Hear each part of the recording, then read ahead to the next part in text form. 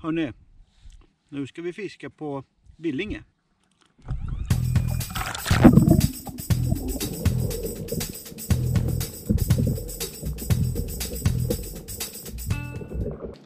Hallå och välkomna till nästa refisk-episod. Idag så är jag på Utö. Men det är inte på Utö vi ska fiska. För vi ska nämligen åka till ett väldigt roligt ställe idag.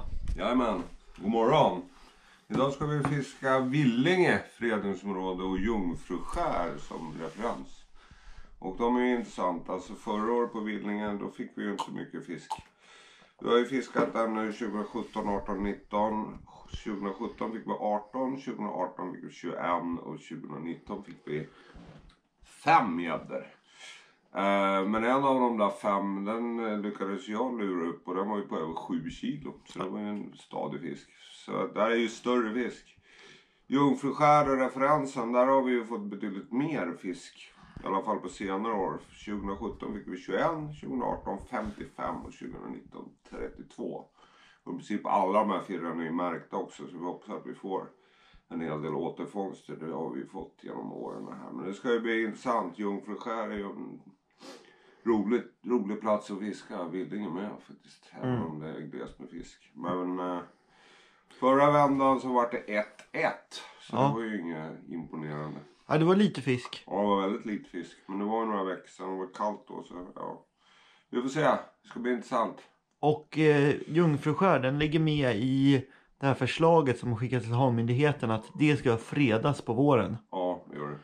Och den är ju väldigt skyddsvärd. Alltså, det är ju en av, av de flader som ligger relativt långt ut som fortfarande funkar. Ja. Bra med det. Och förra året när vi var där, det som jag kommer ihåg, det var ju att vi såg väldigt mycket spigg på ekolodet. Så fort vi bara var lite utanför vikarna, då var det spigg, spigg, spigg, spigg, spigg. Ja, just det. Och så pratade vi om strömmingsteorin. Precis, och den eh, har ju bara förstärkts faktiskt. Strömmingsteorin. Alltså det vill säga att storvuxen sillströmming är ju fiskevår, det vill säga fiskätare. Och med det hårda pelagiska fisket vi har i utsjön idag, alltså industrifisket, så fiskar man ner storleken på strömming och, och eller på sillen. Och, eh, vilket gör att predationstrycket i utsjön på storspigg har minskat. Och jag är helt övertygad om att det är är ett grundläggande problem i den här spiggproblematiken. Att det blivit så galna mängder med spigg. Ja. Och det som vi måste göra är kanske få ner kvoterna generellt på strömming i Östersjön. Och få bort det här lekfisket. Ja, alltså jag tror att man skulle nå väldigt långt med en utflyttning av trålgränsen från nuvarande fyra sjömil från baslinjen till 12 sjömil från baslinjen. Och de här gränserna det sätts ju av liksom EU-politiken. Eh, och Fyra sjömil utanför baslinjen. Baslinjen är en linje som går 300 meter från land eller 300 meter från de yttersta spetsarna på skäret. Och i skärgården är ju det då allra, allra längst ut. Så det är, ju- idag får de ju dra in till fyra sjömil då från den här linjen. Så. Och det blir ganska nära mellan 12 då. Åla, 12 12-gränsen i Ålands hav skulle till exempel innebära att de inte kunde dra i, på svenskt vatten i Ålands hav. Ja Och jag vet att ålänningarna har ju mycket kontakter där. Många ålänningar är ju inne på samma linje då, så då skulle ju försvinna från Ålands hav och det skulle vara mycket värt. Alltså. Men för att det ska hända i Sverige. Då det viktigaste det är till exempel då att eh, Havmyndigheten stärker det här förslaget och försöker forcera igenom det på EU-nivå. Ja, ja precis. Det, Och- ja, precis. Och det har inte hänt. Nej, där, vi, kan, vi kan reglera vårt svenska fiske på det här. Eh, I det här området. Men problemet är ju att svenskt fiske äger ju stora delar av även finskt fiske. Så att då ska bara finska båtar börja fiska istället.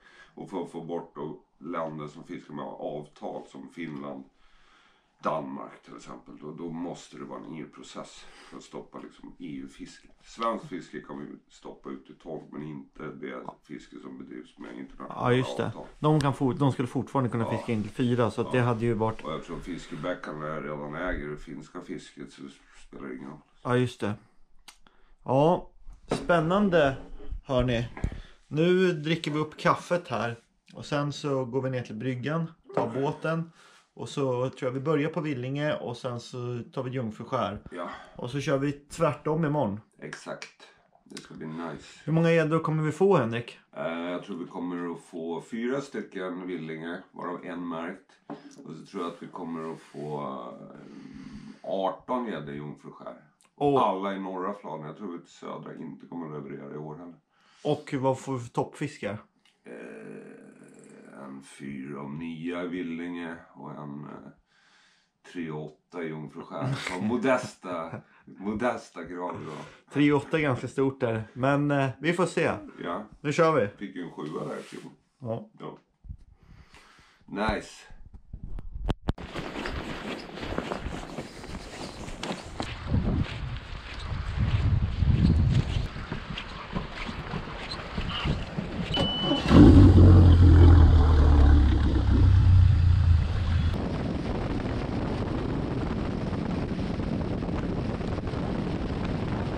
Vi köra? Nej. Kom igen då.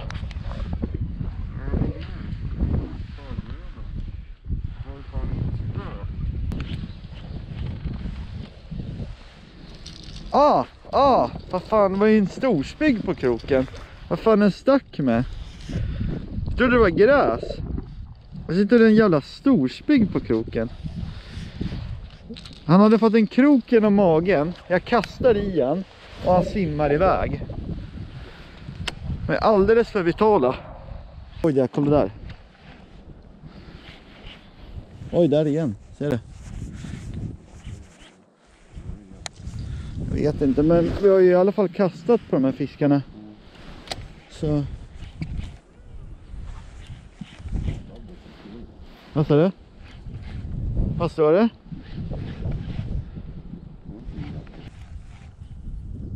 Där. Nej! Såg du där? Gädda. Ah, jag såg den hugg. Vi- kastar på den med en cutter istället. Ja, jag såg den. Den var uppe och tog drag. Först hade jag en jäkla nibbel. Och sen så, sen liksom, jag bara, vad fan var det där liksom? Och så när jag kom, kom så såg jag liksom det vita liksom. Det var inte han bara. Ja, helt säker. Jag såg hela vita linjen.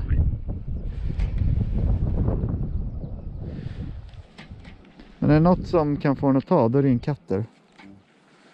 Jag minns när det var första gången hur jävla mycket gädda det var här liksom. Det var jävligt fräckt tyckte jag. För mig fick så här 6-7 gäddor där. Typ dödade isen allt liksom. Men om eh, 50 000 år då kanske vi också har jättemycket arter. Ja. Ja. Du börjar se uppgiven ut Henrik. Jag är så otroligt trött på gråsälar. Det är ju nästan tomt här på Villinge. Jag har sett en gädda så här stor. Och här nere ligger en halväten braxen. Det är typ det enda som finns på hela den här fladan som är för 20 år sedan kokad av gädda. Den här tiden på året. Det är i princip helt tomt. Ja, det är inte bra. Nej, det är väldigt dåligt. Vi har ju sagt det egentligen alla provfiskarna att det har varit eh, färre och färre fiskar vi får här som har varit större och större. Ja, förra året fick vi ju typ två stora. Ja, Det kändes som förra året att det var de sista, de sista dinosaurierna. ja, jag håller med. Nej, det är inte kul. Nej. Och eh, vi tror ju då att det här är en stor del av förklaringen som ni ska få se nu. Det här är ju liksom något vi ser i var och varannan vik skulle jag vilja säga. Nu för tiden.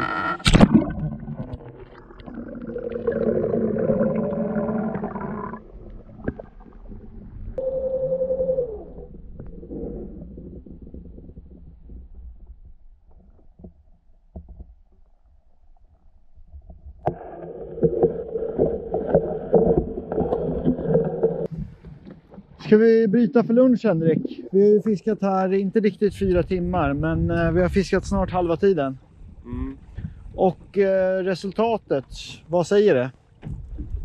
Ja, det är ännu sämre än vad vi trodde. Alltså det är, vi har sett en gädda. Så den känns väldigt, väldigt ensam. Eh, så här har sälarna gjort slut på de stora gäddorna. Ätit upp alla gäddhonor och sen så är det insane mängder med spigg. Ja, Som helt utplånar rekryteringen. ja det Så är, här är, om några år kommer det vara helt tomt här. Då finns det bara gråsäl och storspigg. och en enstaka havsöring som stryker förbi. Ja, förskrämd havsöring. Men det här var eh, faktiskt eh, det här var värre än vad jag kunde tro i mina vildaste fantasier. Jag sa ju det i fjol. Ja, du sa det Frol, jag vet det. Men, Mm. men det, jag, jag måste säga att eh, du sa ju redan här för eh, tre, fyra år sedan.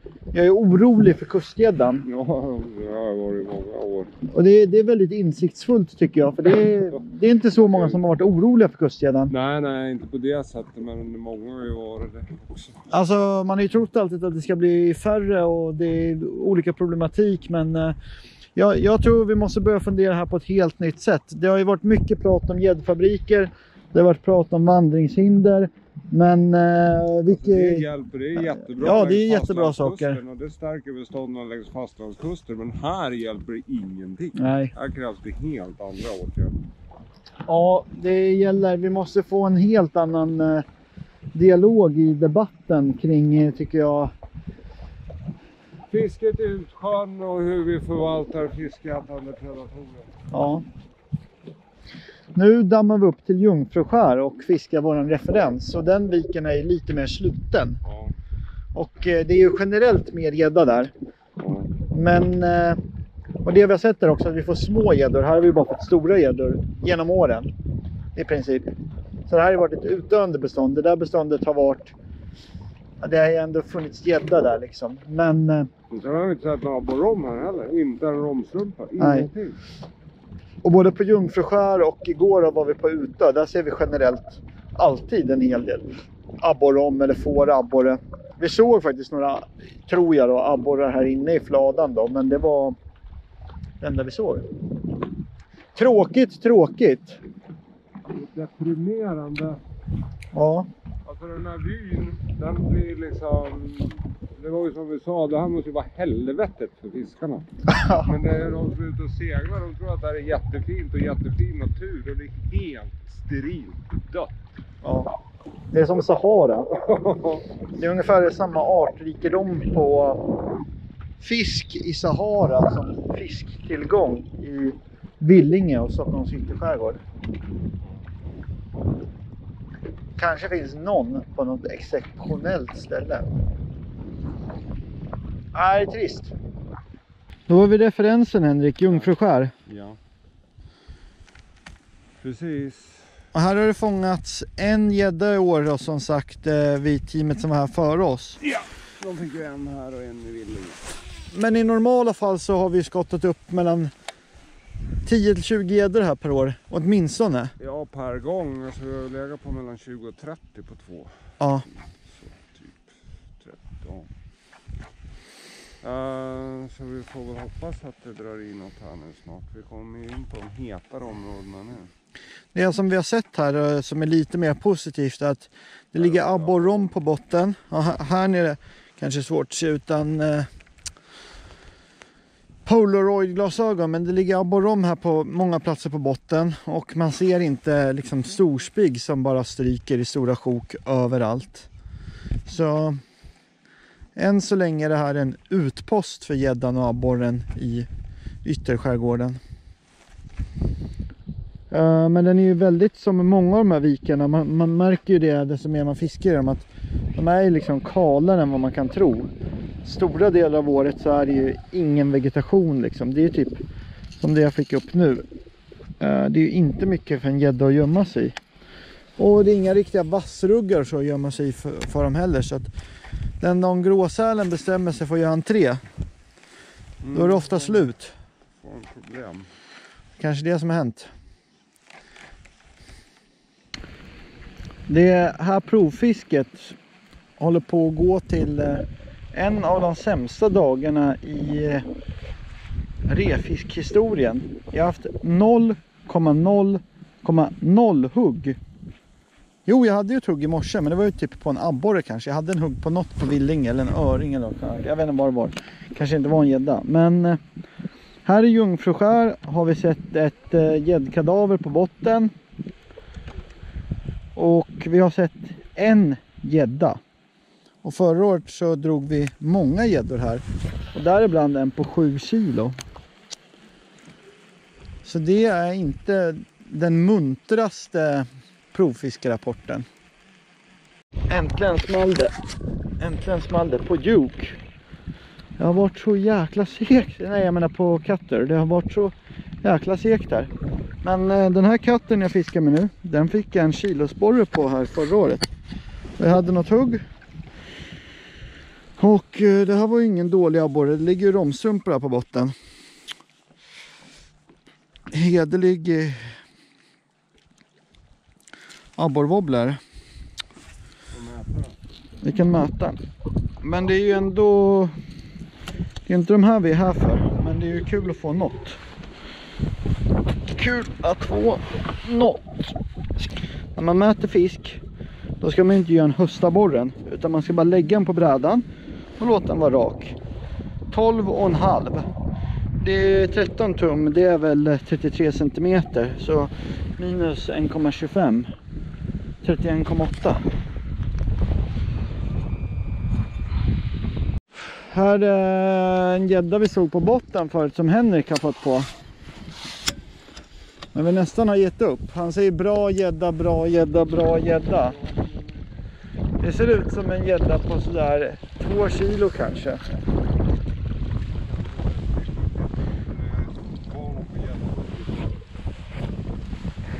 Åh ja. Det var bra.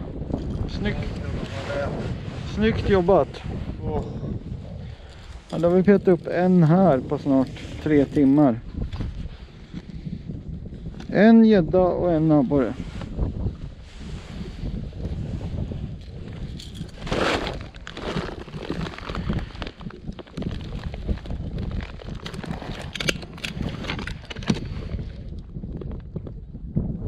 Trettioett nittiofyra.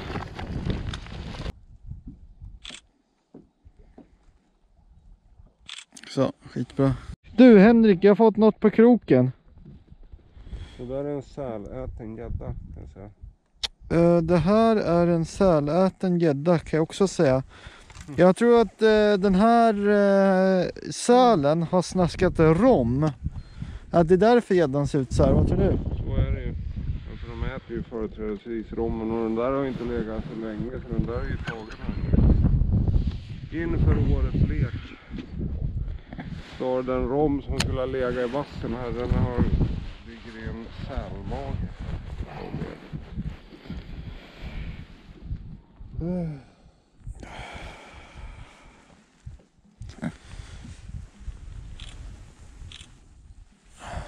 Jag lägger ju en till här precis nu. Ja, jag vet. Jag blir fan tokig. Jag blir, jag blir matt. Jag blir helt jävla matt Henrik. Ja, jag blir så trött på de här djuren. Det, det, det som vi har pratat mycket om här i båten idag, det är också den här extremt stora villfarelsen som folk säger att om det bara fanns mat ute i havet då skulle inte sälarna söka sig nära kusten. Det är så grovt felaktigt påstående eh, som det bara finns. Det handlar om att gråsälarna nu, det är 60 000. Och går vi tillbaka 20 år i tiden, då snackade vi kanske var 10 000 sälar. När var de 10 000? 90? 90? Ja, är runt 2000. Alltså, jag, 10 år, ja, är alltså runt, ja, 20, runt 2000. Ja, mellan 95 och 2000 var det så här 10 000. Ja. ja, och det som händer när en art ökar, det är ju att de eh, använder ju habitaten. Alltså alla sälar vill ju vara på det bästa habitatet, men eh, desto fler de blir, desto mer tvingas de ut i periferin. Och det är ju kanske inte normal, det är inte den vanligaste livsmiljön för en säl att simma upp i en havsöringså och liksom eh, eller stå nedanför kraftverket i Älvkarleby. Det är ju inte det, det första en säl gör. Men när det blir tillräckligt många, då blir det konkurrens. Då sprider de ut sig. Det är så det fungerar. Eller vad säger du? Ja, exakt. Nej, det där är tråkigt. Ja. Och här har ni ingen mat nu liksom. Nu har Nej. ni käkat upp allting här. Och en sak som jag tror är lite problematiskt här i ytterskärgården, det är också det här Just det, eftersom vi tar genprover. Vi jobbar ju enligt tesen då, eller vi undersöker ju tesen ifall det är unika bestånd i varje vik. Och att det, liksom, det sker ingen direkt kolonisering av gädda. Det är inte så att om den här viken blir tom och det är massa gäddor en kilometer bort. Det är inte så att det kommer automatiskt fylla på med gädda i den här viken som koloniserar upp den inom någon liksom snar framtid. Utan äter sig sälen rent här, då är det väldigt troligt att då är det rent här sen. Ja, då är det tomt. Ja, då är det tomt. Då...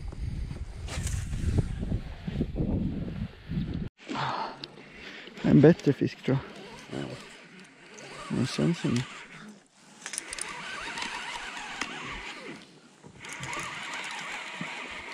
Bättre och bättre men Same, same. But different. för mig är det min första idag. Väldigt smal. Fina gäddor.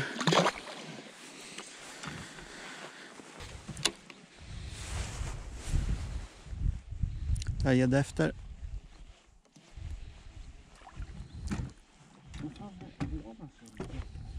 Vad sa du? Oh, jag har stor gädda efter. Står helt still. Nej, den var inte så stor. Den, jag såg i syne först. Den såg så här. Den såg så här skitstor ut, men det var inte gäddan jag såg, det var någon annan skugga. Fyra.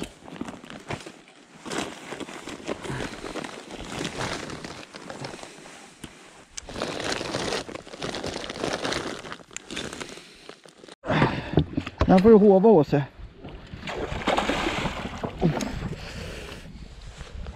Oh, den här är finare fisk. Vänta. Oh, vänta. Så. Oj jäklar. Vilken, vilken fin fisk. Det? Det här var en sån här supergädda alltså. Shit vilken fin fisk. Oh jäklar. Ska se. Ska se om den är märkt. Vilken, vilken, vilken jävla supergädda. Vilken jäkla. Inte märkt. Vilken supergädda. Här snackar vi tjocka. Här snackar vi fin tjocka. 88,5. Om man ska vara exakt.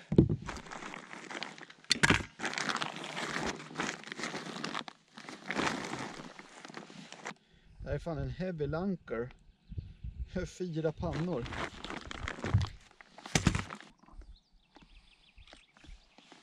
Här, vänta.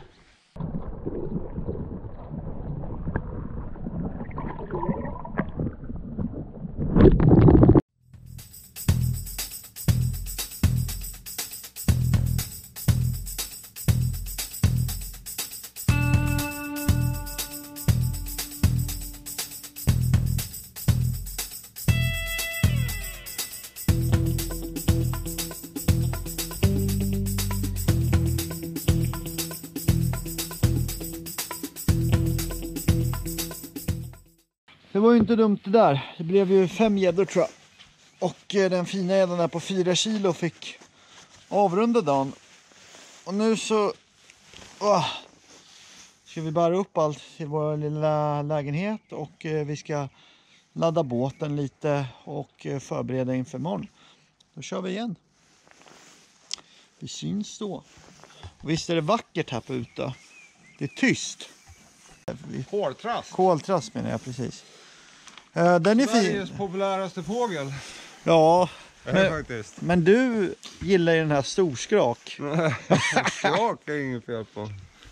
Storskrak, gråhäger. Skäggdoppingar gillar jag.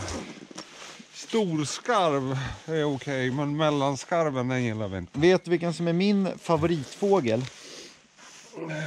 Kungsfiskare. Kassuar. Kassuar. Känner du till den? Nej. Kassuar, den ser ut som en gigantisk Alltså den är lite som en struts men den är så svart och har så här jättemycket, den är som värsta dunbollen och så har den ben som är liksom som trädstammar Okej. och så lägger den äggen i så här jordreden som den blandar upp med massa förmultnad vegetation som typ fermenteras och värmer äggen. Och, Intressant. Och den har otroligt köttiga ben så den kan sparka ihjäl en människa. Och den är, kan vara väldigt aggressiv. Men den är väldigt sällsynt. Den finns bara i Australien och på Papua ungefär. Eh, och så har den en lite blå skimrande kam. Så har du inte sett på en kassuar och inte ni andra heller, då kan ni googla på Giant Cassuari. Eller ja, så vill ni göra mig glad någon gång, då kan ni skicka in en kassoar i mitt hus bara utan notis. Så jag får en överraskning. Det hade varit trevligt tycker jag. Stor jäkla kassoar står det helt plötsligt när man vaknar. Mm-hmm. Alltså när jag kom hem, då, av någon anledning var jag, vet inte fan vad andra jag var, men jag var ensam hemma i alla fall. Så då, då, då, hade vi, då hade vi tvättmaskin i lägenheten, det har vi inte nu. Alltså körde jag i tvättmaskinen och det luktade bensin så in i helvete i hela lägenheten. Och så, och så körde två tvättar. Och så körde en tvättmaskin tom. Nej, det bara luktade så fan vad det luktade så. Så, så skulle Anna komma hem, vad fan ska jag göra? Det luktar bensin i hela lägenheten. Jag måste få bort det liksom. Hon skulle kunna bränna bort det. Så här.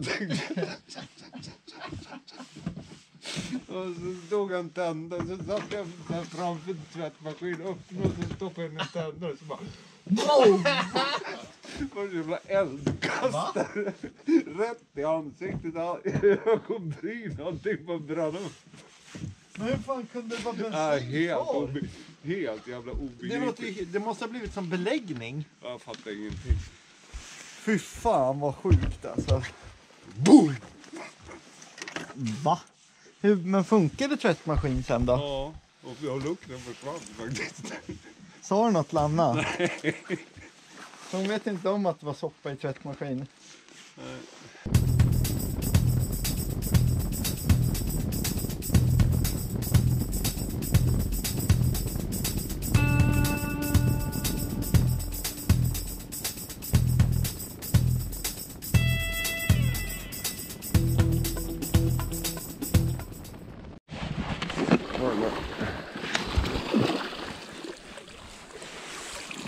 Nice.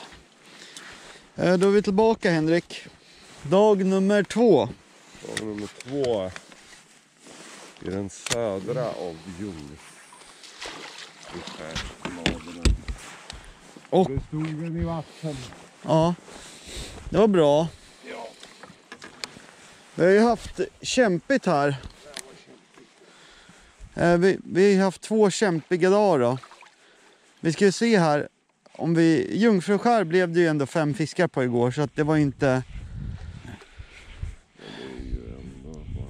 Ja, det är ju dåligt mot att få 20-30 stycken som vi har fått ibland. På två fisken då visserligen men... Eh, de andra teamet fick ju som sagt en gädda så att... Eh, det som är frågan här det är ju kommer vi spräcka nollan på Villinge? Ja, det är den stora frågan. Jag tror vi kommer göra det. Jag hoppas det. Jag vill ha en märkt där. Jag skulle vilja ha... Ha en märkt här också. I Villinge har jag fått samma gädda två år i rad. Först vägde den typ 3 och 6 och sen vägde den typ 4 och ett halvt eller något i den stilen jag för mig. Jag skulle vilja ha henne Ja, den som var 7 och... 21. Ja, den skulle vara kul att få. Men då får du nog åka ut och fiska på Stora Björn. Vår vän Henrik Schreiber, han säger att gäddor gräver gropar som de själva står i sen och gömmer sig. Och här är det lite, lite djupare på botten. Och här står det en gädda nere i en grop. Helt sjukt. Och nu när HC tar bort sitt spö, då, eller om det går bakom mig. Var försiktig nu så du inte skrämmer. Nu ska jag fiska på den här med en lugworm och se om jag kan ta den här gäddan.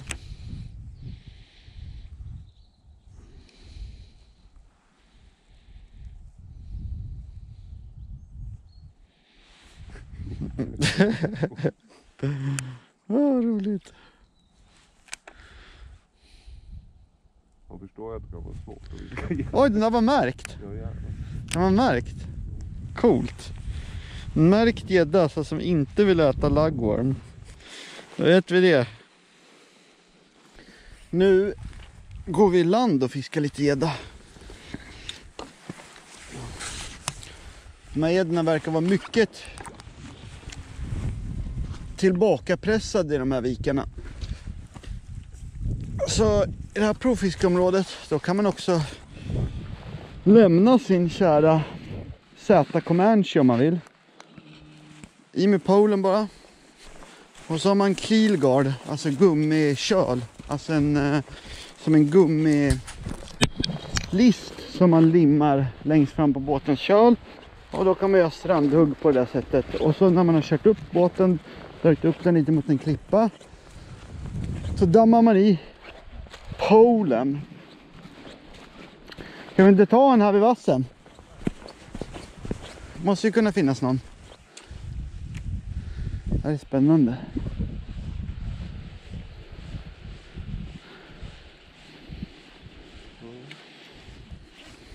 Oj, där var en gädda efter min. Jag såg den. Såg du den? Virven. Men den typ högg inte riktigt ordentligt. Det är nog god chans att du kan få den. Det är lite bra ändå att vi har både ett jerkbait och en jigg. Du kommer säkert kunna få de här som bara och nosar. Ja, jag vet. Det var därför jag tog jigg. Här är alltid så här, det är så här massa benlöja eller något. Eller om det är foxinus skulle det kunna vara, jag ser inte riktigt. Ja, nu är det så här massa mört här. Tror jag det var.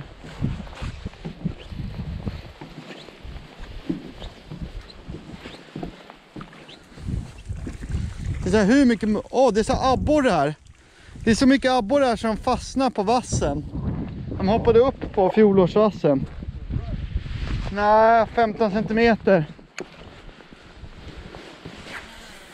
Kanske. Här har det stått en gädda. Vilka fina områden det hade varit och vadfiska till exempel med flugspö om det hade varit bra här. Liksom att det är det här blandat hårt och mjuk botten till exempel. Du hade ju kunnat fiska av en sån här flada som ingenting liksom. Har vi också en eh, sportfiskebåt här i den andra fladan. Sånt är också intressant att anteckna i det här projektet. Fisketryck. Inte enbart från eh, sälar och skarvar såklart utan också från andra sportfiskare och från eh, mängdfångande redskap och så vidare. Men där ser vi, där är en båt. Det brukar faktiskt vara lite folk just i den här fladan och fiska. Vilket är egentligen lite otroligt för att det är inte så bra fiskar. Den ligger ju långt ut.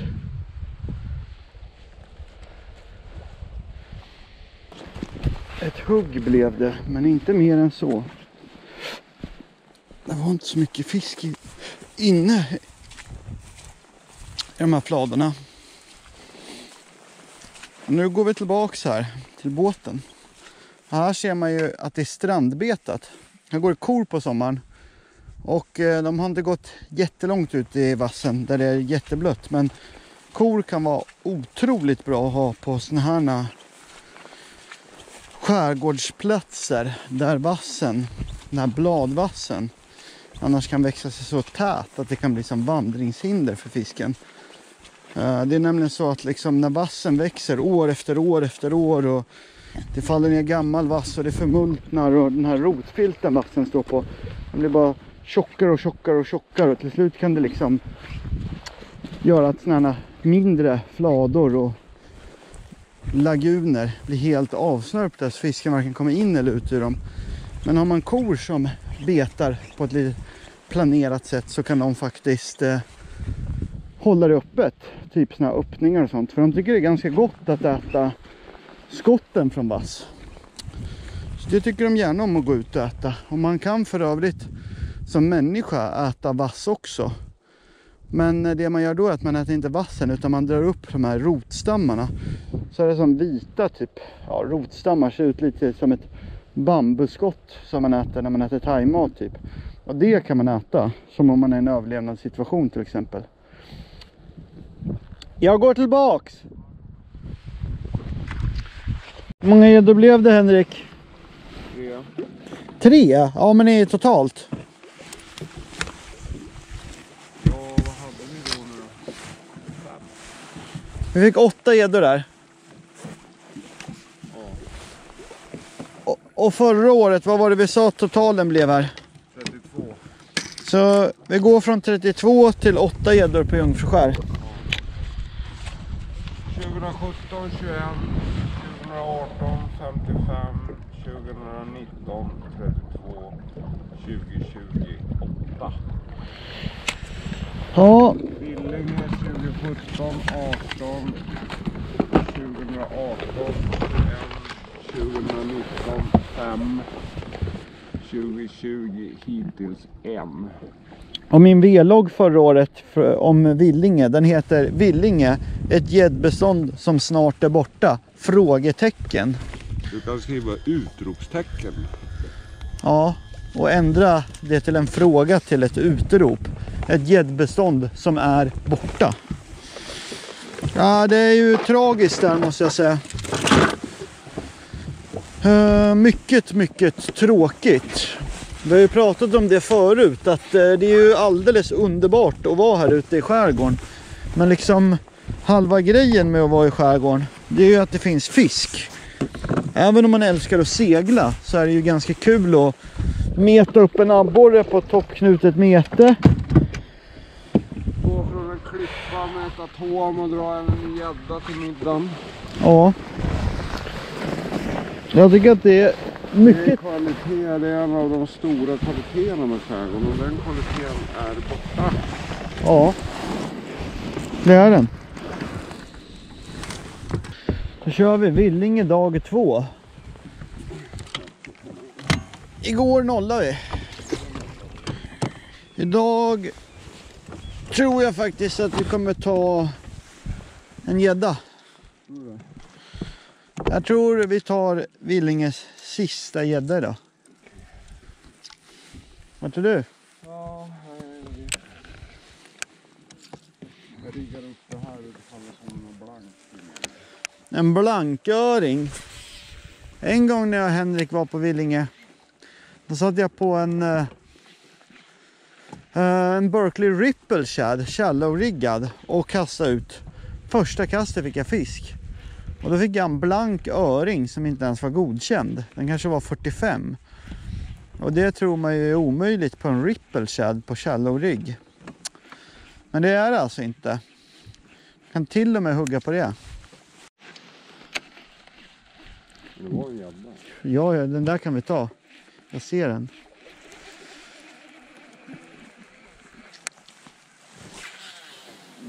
Jag missar den hela tiden. Det är det jag säger, de står liksom här.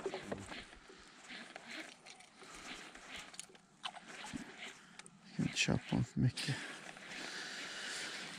Jag hade en stor gädda där, hade en typ sexa tror jag, alltså minst alltså. Den var fin den där gäddan drog iväg på botten. Det är stor sannolikhet att den där fisken är märkt.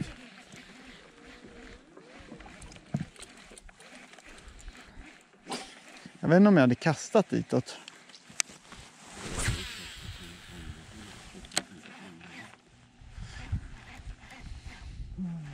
Jag hade ju kastat i området i alla fall.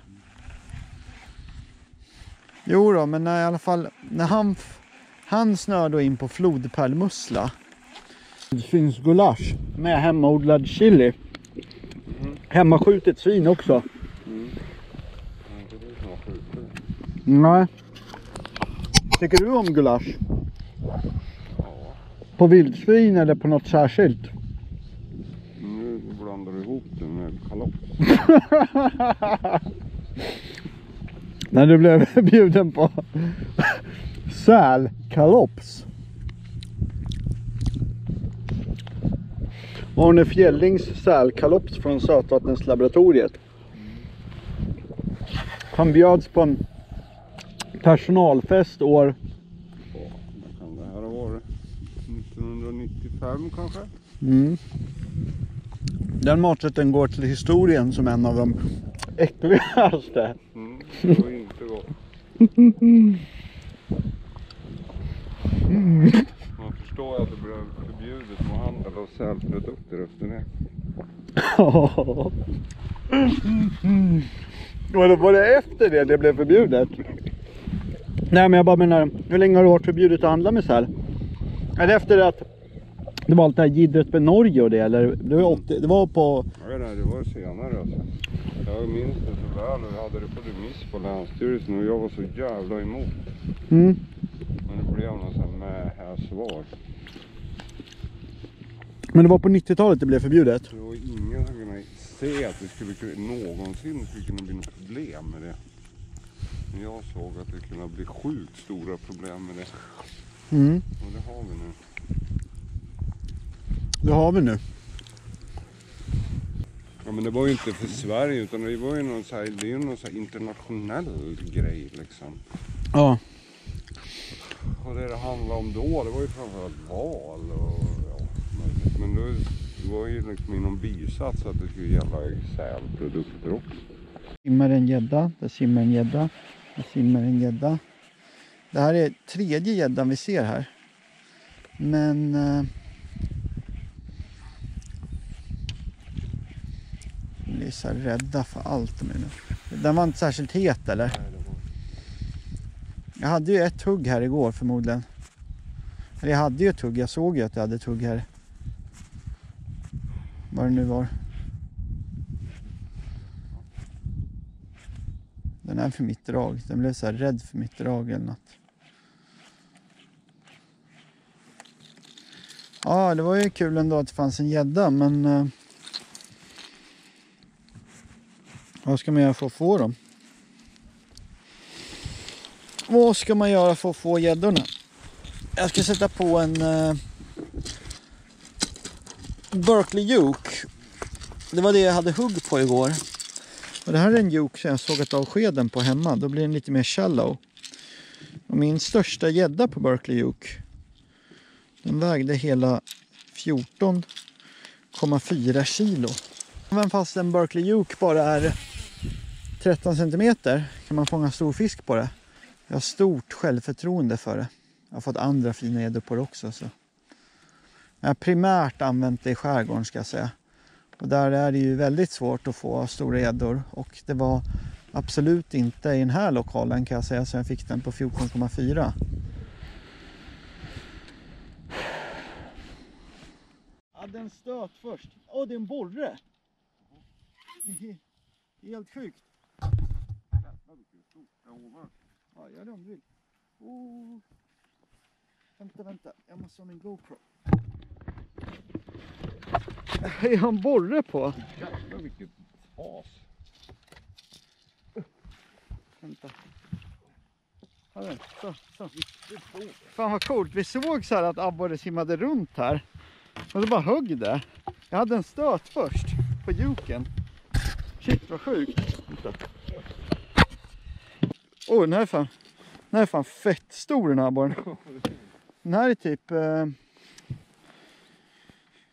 Hundar är så här 12-1300 gram. Coolt. Galet fin abborre, 43. 1300 gram. Hej på dig.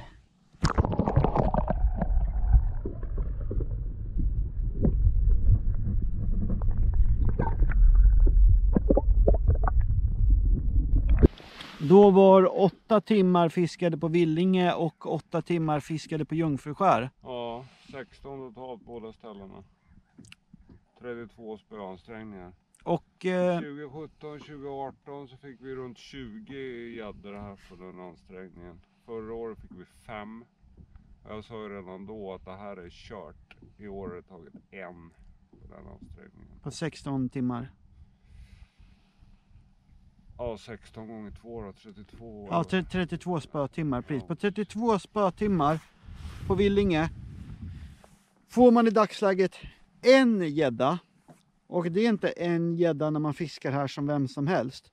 Utan det är en gädda när man fiskar här på den särklass bästa tiden på året, vilket är på våren. Inne i ett fredningsområde, självklart då med dispens som vi har.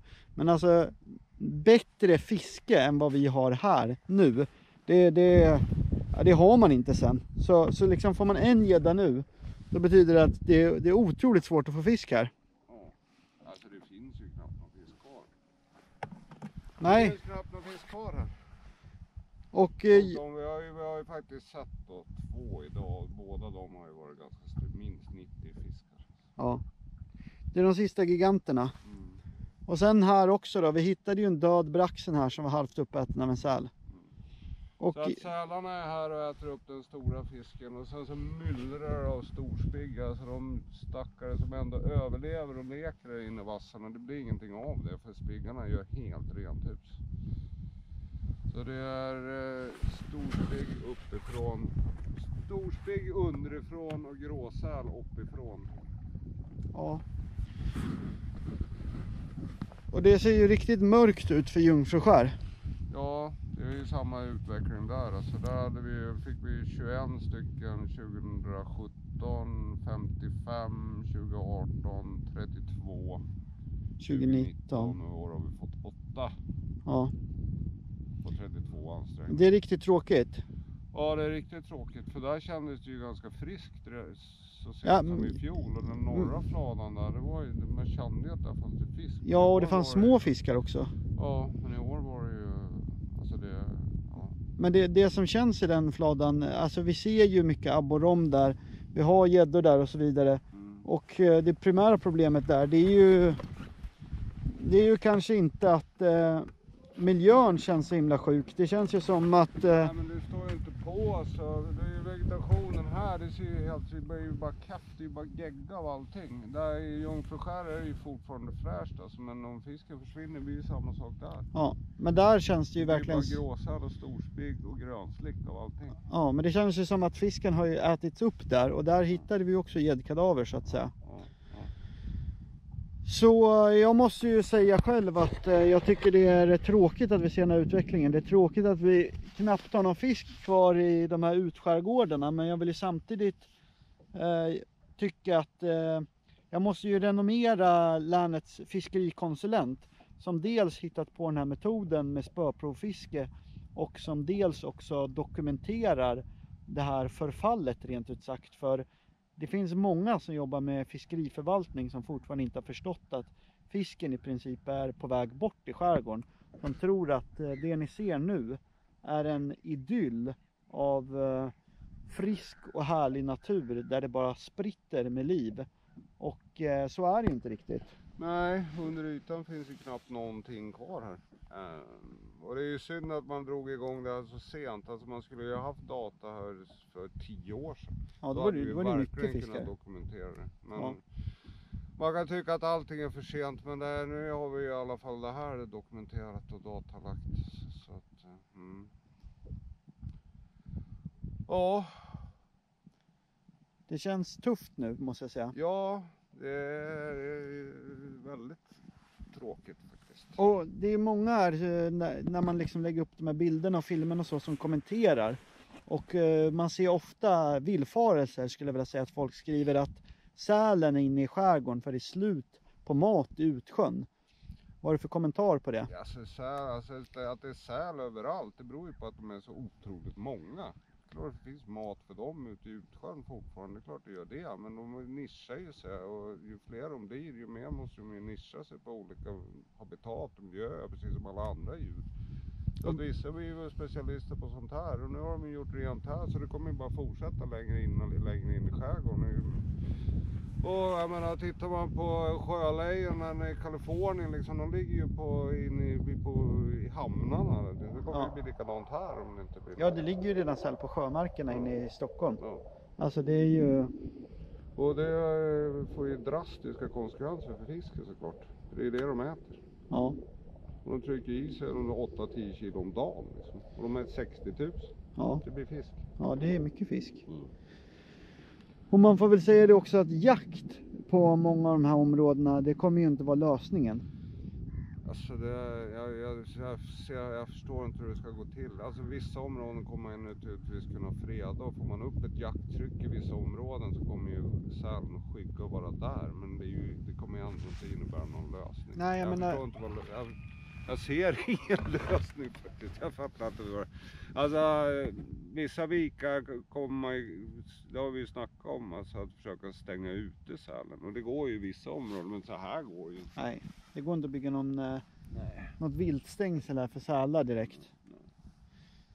Nej, så att eh, jag tror ju debatten måste ju fortsätta och ska man dra paralleller till rovdjursförvaltning på land till exempel så har vi ungefär 250 vargar i Sverige Jo. och kanske 2000 björnar eller något i den stilen. Ja. Men vi har 60 000 gråsälar mellan Stockholm och Åbo. Åh, Det är ju väldigt eh, det är skevt. Det är skevt och som sagt de äter liksom upp till ju- 10 alltså, kilo fisk. Fisk är ju inte värt någonting känns det ju som. Nej. Och om man drar en metafor här också till om man säger inkomstbringande fiske som husbehovsfiske så, eller jag menar fritids, eller nej jag menar småskaligt yrkesfiske. Mm. Vad, vad hände egentligen med det småskaliga yrkesfisket? Ja men det är sälen utraderade ju det för ungefär 20 år sedan. Alltså det är klart det finns några fiskare kvar men jag lägger ett nät. det- Alltså, det, är- Det, det, man, alltså att fiska sik eller abborre eller något med garn idag, det är omöjligt på grund av sälen. Ja. Och om man och får... nästa konsekvens det blir ju att fisken försvinner. Då drabbar det ju allt fiske. Både sportfiske och ja, ja allt fiske. Om man, om man ska säga de kommersiella aktörer som finns kvar med fisk som resurs i Stockholms skärgård. Där måste ju ändå till exempel guideverksamhet och upplevelseturism. Det är väl egentligen det som finns kvar. Ja. Och vad tror du kommer hända med det om den här utvecklingen försvinner? Alltså gä- gädda och abborre är ju, det är ju de arter man kan verkligen göra sådana näringar av. Och jag menar om det skulle vara ett friskt gäddbestånd här, det skulle ju ha en världspotential. Alltså det skulle ju kunna vara en sån helt fantastisk attraktion. Så det skulle locka folk från hela världen, det gjorde det ju för 30 år sedan. Men det, det här kan ju inte locka någonting. Nej, det här kan ju inte locka någonting. Om man inte vill titta på fina vyer. Men eh, Måla akvarelltavlor. eller segla eller någonting. Paddla kajak. Oj. Nu ringer de. Viltskadedelegationen.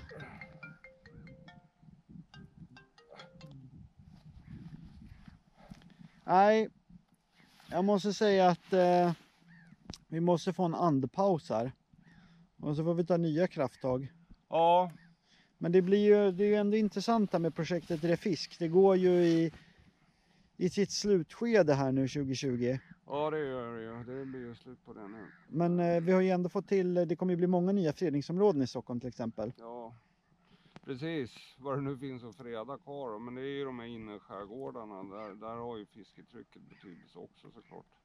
Sen är det ju många som vill påstå då att fredningsområden jobbar saken värre. Alltså att det inte är någon folk där och fiskar så blir det fritt spelrum för sälarna i alla fall. Men alltså jag, det, jag, jag köper liksom inte riktigt det Nej, jag tycker, jag tycker faktiskt inte heller att det är ett För att sälarna skiter ju i det.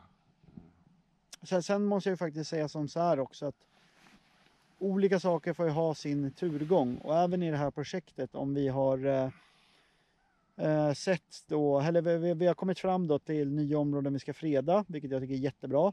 Men vi ser också den här stora problematiken med till exempel säl. Nu har vi ändå fått det dokumenterat och kan gå vidare. Absolut. Alltså liksom om vi säger innan så det. måste man ju försöka sortera frågorna också. Alltså jag jobbar med fiskeriförvaltning och jag menar, det är klart att man måste ta hänsyn till säl och skarv och allting annat också. Men det är ju... Ja. Men det som eh, det blir också, det blir ju någonstans kommer det här bli en politisk fråga. Mm. Det är ju Jo, det är ju ändå så att, eh, vad ska man säga, med förvaltning så är det ju, man får ju välja vad man ska ha. Och i det här fallet så har det ju blivit en politisk fråga att vi ska inte saluföra några som helst sälprodukter, de ska vara helt fredade och det ena med det andra. Men eh, det kommer ju liksom, eh, eh, någonstans kommer det visa sig att det finns eh, stora nackdelar med att driva den linjen också. Alltså, många tror ju liksom att Östersjön är någon sorts naturligt eller, eller, eller naturen överhuvudtaget är naturligt och att allting kan ha sin gång. Men så är det ju absolut inte. Allting är ju kulturlandskap som måste förvaltas och man kan välja vad man vill ha. Vill man ha fisk så kan man ha fisk om man bestämmer sig för det. Jo, jag håller med. Jag brukar säga som så här. Människan har påverkat allt till sin grad.